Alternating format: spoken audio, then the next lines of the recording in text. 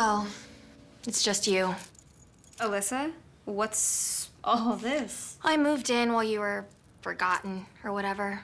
Your side's over there, I usually have a single. which is what I had until this exact moment. I go to bed at 10, so no late night visitors. And I don't want ants, so no eating in the room.